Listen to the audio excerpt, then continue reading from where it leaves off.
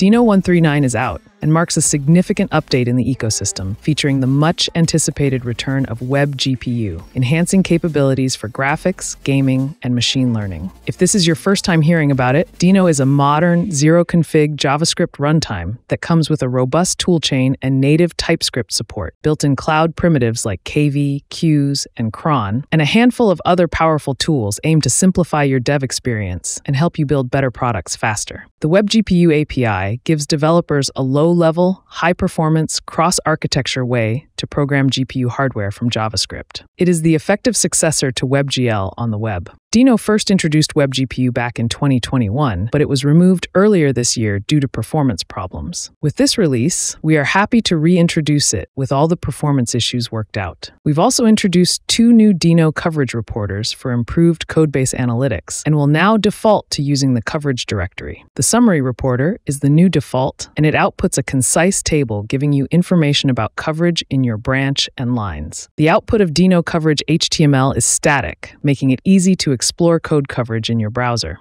Finally, we know that migrating existing Node.js codebases to Deno can be a daunting task. One of the biggest hurdles is the fact that Deno requires you to explicitly specify file extensions in the import statements. This code would have failed in the past, but in this release, we are introducing a new unstable sloppy imports flag that allows you to omit file extensions in import statements. This allows you to quickly try out Deno on your existing Node.js codebase without having to update all the import statements. That's it for this video. Read the entire list of extensive updates in our 1.39 blog post. Thanks for watching.